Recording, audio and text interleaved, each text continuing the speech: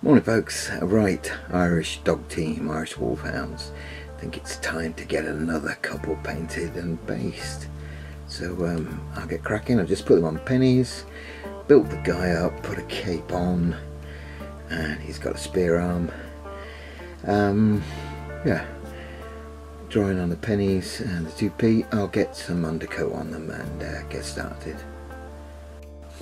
Right, Brown's uh, brown dry brushes are completed. Um, so I've gone with the handler. I've gone for um, a couple of dry brushes on him, same colour. Um, and the dog's only had the one dry brush. Um, I'm probably going to go for a red brown this time. Wolfhounds um, or brown. Um, I uh, I thought they were only black, uh, black or grey black, but yeah, we can also have red brown. So gonna have a go at that. So um, I'll get busy. And there we go all completed again. Very simple very quick enjoyable. About 20 minutes from the brown stage to the finish stage. Uh, it's a bit dark. Um, just move the light a bit if I can without it flashing and strobing. Yeah that seems alright right. Yep so all very shiny. Stainers are on. The dogs have been done with a red and then uh, flesh wash. I think it's been done with flesh wash. Uh, yeah, everywhere.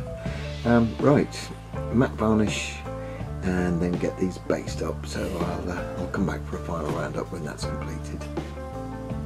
And there we go, all completed. Um, second unit of Irish Wolfhounds with, uh, with a handler.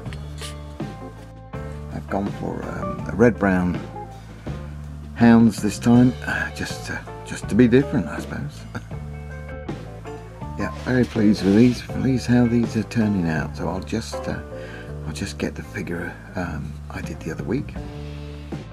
And there we go, uh, two units of um, attack attack hounds, Irish Wolf attack hounds.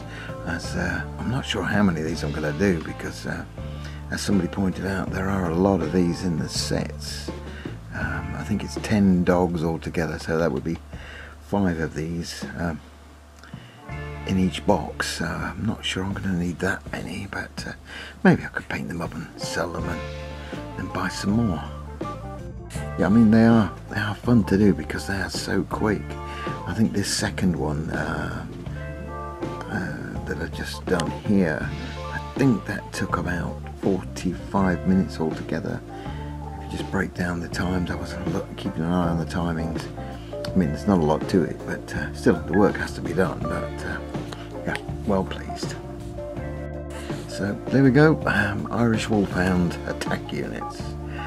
Thanks for checking in, and uh, bye for now.